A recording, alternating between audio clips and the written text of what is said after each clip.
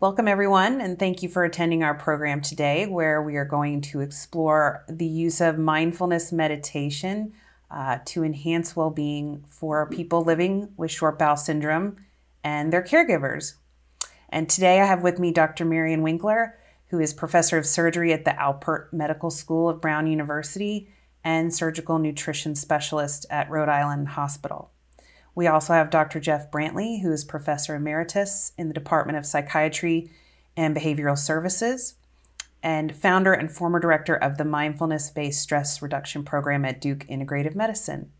And we're also excited to be joined by Andrew Jablonski, who is founder and director of the Short Bowel Syndrome Foundation and also a person living with short bowel syndrome. So, thank you all of you for joining me today. So, my first question is for you, Dr. Winkler. A big area of focus right now in short bowel syndrome is on quality of life concerns for both patients and caregivers. So, when we use the term quality of life, what exactly do we mean by that? And, and what are the biggest challenges that you've seen with your patients and caregivers in this area?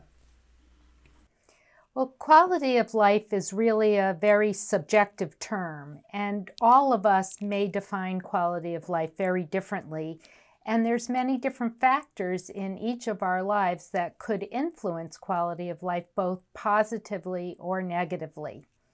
In my research, uh, looking and, um, and interviewing patients on home TPN who have short bowel syndrome, they define quality of life as how much they enjoy life and being happy and satisfied with life and being able to do the activities and participate in events that they are really desiring to do.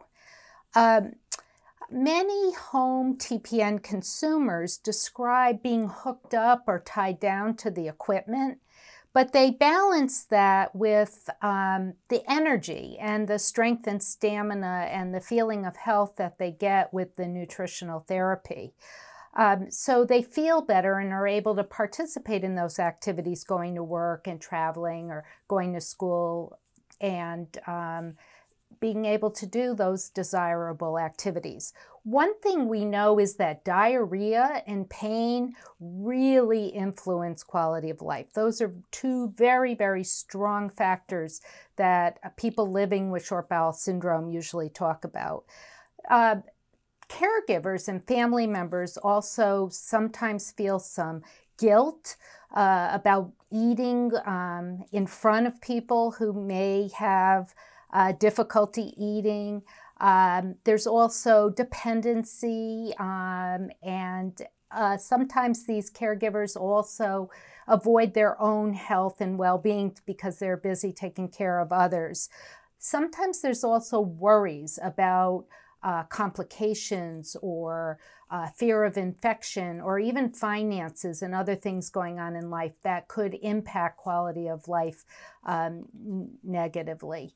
One thing for sure, I think, to overcome all of this is to be able to define your quality of life and share your personal definition with your physician and your healthcare team. Thank you, Dr. Winkler. And, and Andrew, I'd like to turn to you as someone who is living with short bowel syndrome.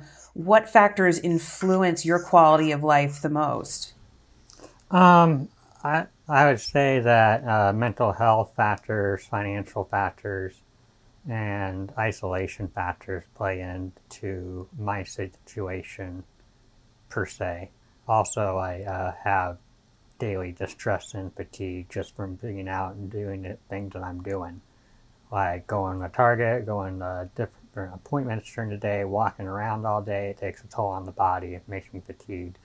And then I pretty crash uh, early at night and I wake up early in the morning, but in between those hours, I have lots of sleep deprivation. I'll get up between the hours like two and four and have restless sleep and get on my computer and play around for a bit, and I'll fall back to sleep until seven. Then I got to get up and do my daily routine. Um, and then finally, the financial and economic strain is a real thing. Um, I'm not made of a lot of money. I need uh, economic assistance from the state and from my parents to survive. Um, what I do doesn't make a lot of money at all. So I definitely feel that factor as an adult rather than when I was a kid. Uh, but isolation for me would be the main thing because even without being on TPN, there's isolating factors that come with short bowel syndrome.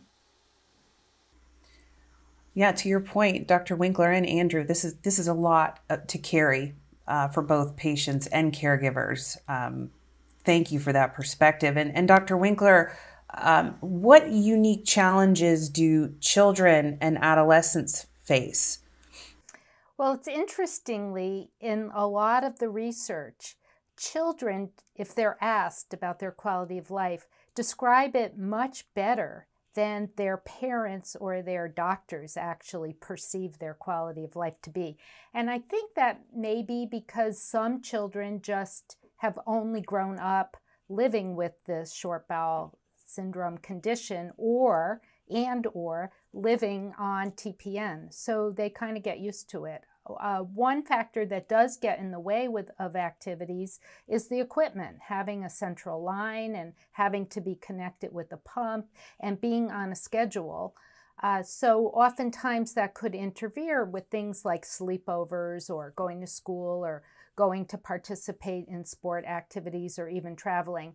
But always there are strategies and resources that can be used to balance uh, those activities with with um, taking care of TPN and, and the medical condition very safely.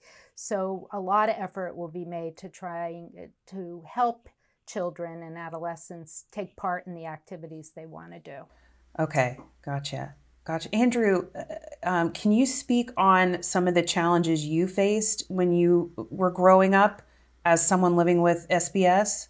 But when I was a teenager, um, I was very healthy for my age and for what I had.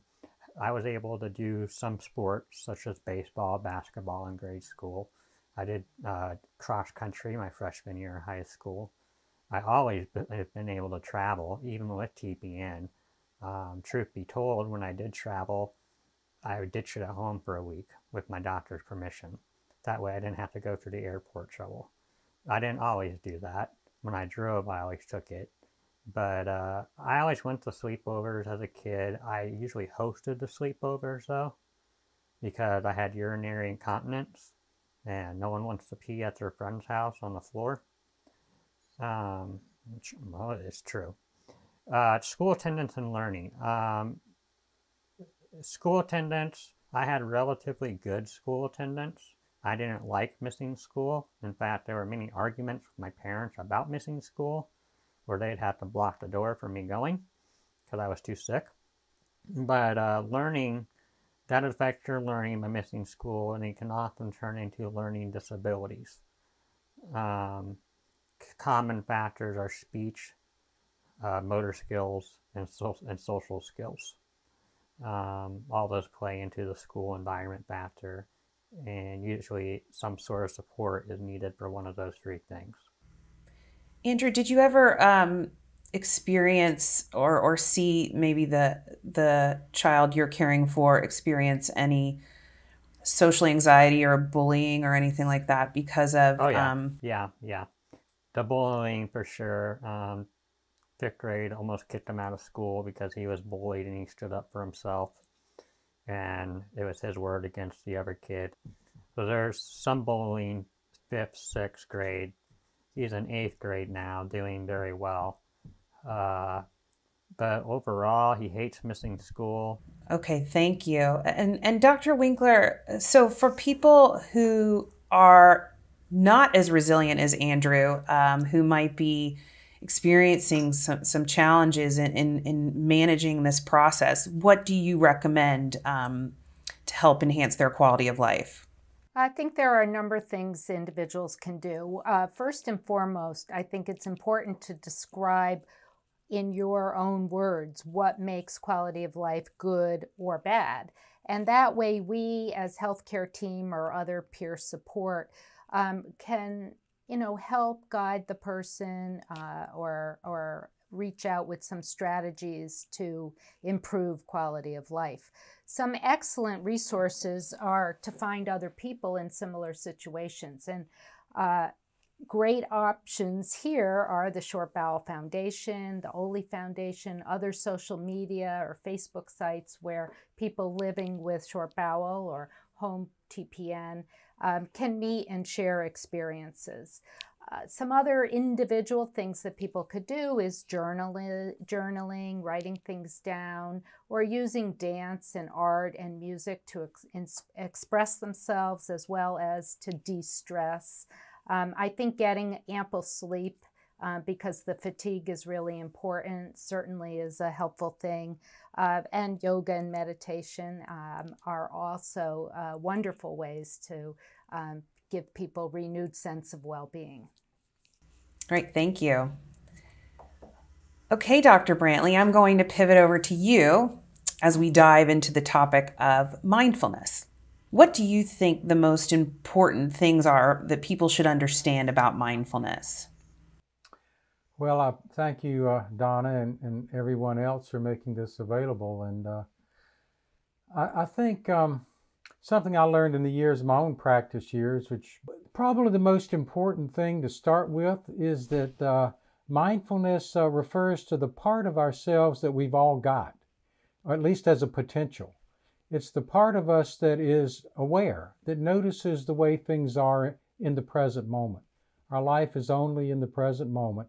And the part of us that notices. Uh, so, like as you're sitting there or if you're listening to this, uh, if you pause for just a minute and just notice, you'll notice there's hearing, you'll notice sensations of your body. You probably notice your mind is talking about something, reacting somehow with thoughts or other feelings. And, uh, and the part that notices is the mindfulness, and we all have it. Uh, so I say to people in the classes that we teach and the, and the events like this, you don't have to create it. Uh, you're born with this sense of noticing, the awareness that notices. It's non judging, it's uh, friendly, really, welcoming and allowing. And what we uh, need to do is to learn to recognize that part of ourselves that notices and to trust it and develop certain skills about uh, establishing ourselves in awareness in the midst of challenging situations. And and most most of all, really to kind of understand the mindfulness as a as a way of empowering ourselves, of befriending ourselves to deal with whatever challenges life offers. So we've got all the mindfulness we need. There are many different uh, methods, you might say. I think about them as um, as uh, depending on where we focus. But there's one mindfulness, and as we focus the attention, we gain more uh, understanding and connect more deeply with with whatever is here with us in the present moment, whether it's our body, our breath, the thoughts, the emotions, uh, whatever it might be. Thank you, thank you. And and so, what do you see as some of the benefits of mindfulness meditation? Well, you know, there's a great deal of research about all this now, and of course, it's an ancient practice that uh, uh, in some traditions, notably the Buddhist tradition, it was offered as a as a pathway to gaining freedom from suffering, and that's a much uh, much discussed uh, word and everything else. In, in our modern era in medical science and psychological health science, uh, when we talk about suffering, Jon Kabat-Zinn uh, talked about mindfulness-based stress reduction. And again, we come back to this notion that we all have all the mindfulness we need, and we can begin to understand our own personal experience of stress, whatever the stress or the stressors are, and we can be empowered to deal more uh, effectively. We like to say in the mindfulness based stress reduction language, people learn to respond rather than react to the stressors. You know, the mental health improvement uh, that is research shows, depression, anxiety, and so on uh, resiliency, um, uh, more objective, less reactive, um, improvement in sleep disturbances and uh, other sorts of hyperarousal conditions. All of those come back to the fact that we take a different relationship when we practice mindfulness to whatever is happening in the present moment. So, uh, so the benefits of the meditation are growing all the time. They're well documented in strong research, as well as some that's not so um, in the early days. But they all come back to this uh, empowerment to take a different relationship to the conditions we are experiencing in this moment, inside and around us.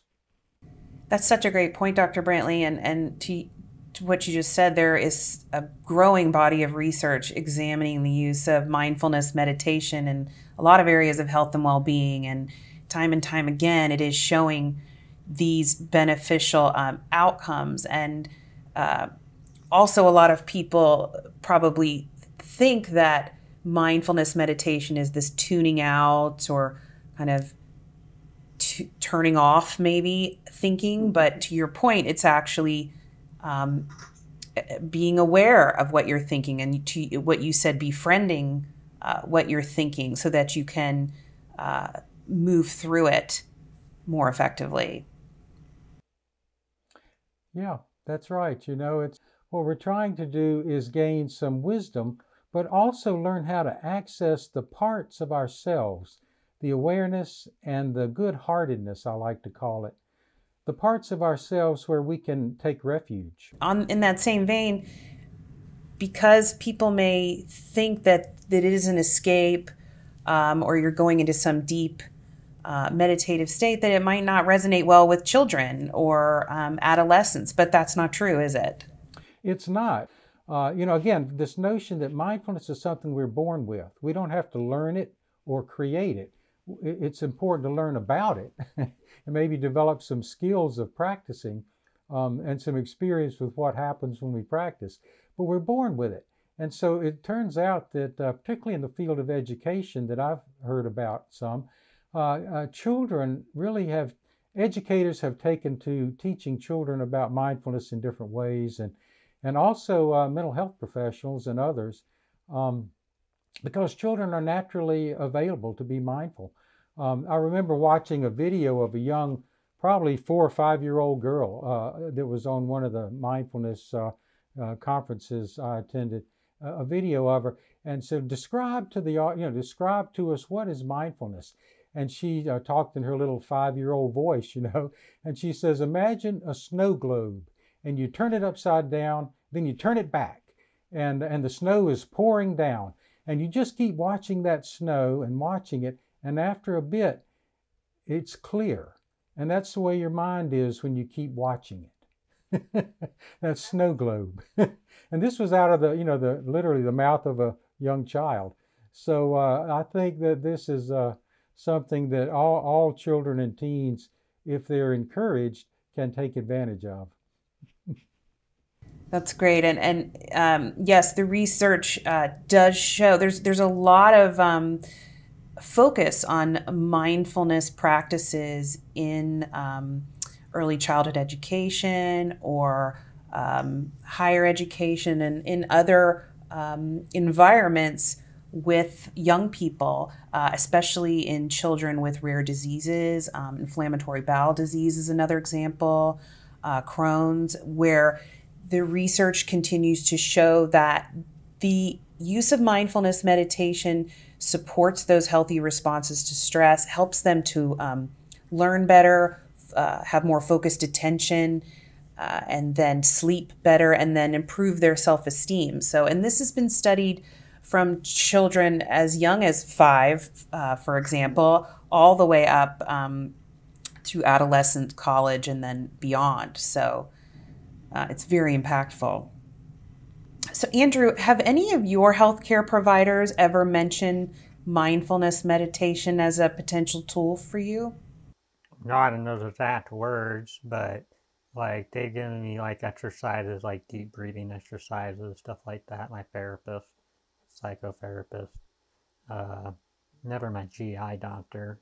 And uh, it does help reduce the symptoms of depression and anxiety about that one particular situation. And it does help me sleep better. I will say all those points are spot on.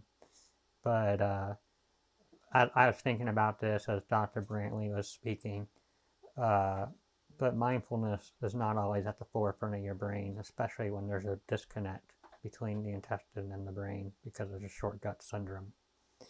Um, a lot of behaviors come into play, a lot of anger comes into play, and it's not always controllable. So let me let me address a couple of those points. Uh, First of all, uh, Andrew, I think you know you are very much like people I've met that didn't have short bowel syndrome but had anger, or that came to our classes. They had they had reason to be angry about something, you know, and uh, and many people came come with the idea that their their thoughts, uh, you know, or, or whatever. But what I've come to understand about mindfulness is it's always here. We don't have to create it.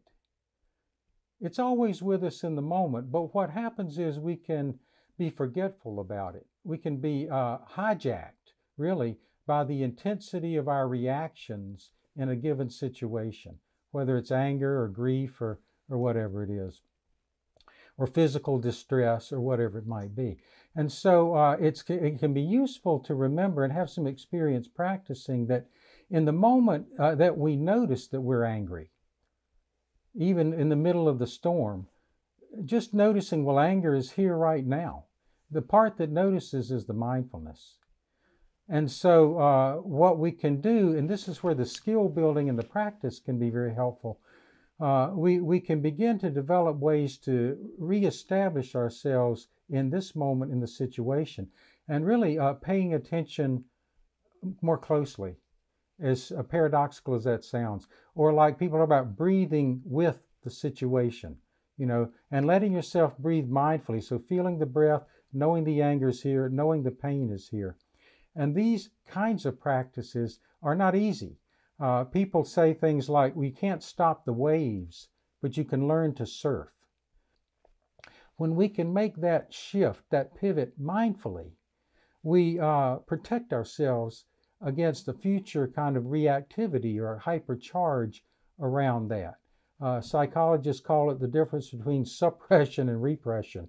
At least uh, sometimes I've heard it put that way. Uh, but if we can actually mindfully step away from whatever is bothering us so much in this moment, we also uh, do not fall into actions and re- reactions that, that later on we have to go back and clean up uh, with others and within ourselves. Thank you, Dr. Brantley.